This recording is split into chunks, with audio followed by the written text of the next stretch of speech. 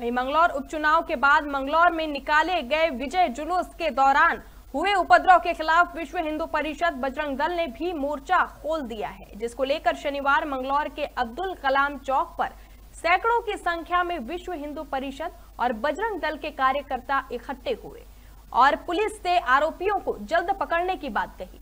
हालाँकि मंगलौर पुलिस द्वारा अभी तक नौ आरोपियों के खिलाफ विविधिक कार्रवाई जारी है।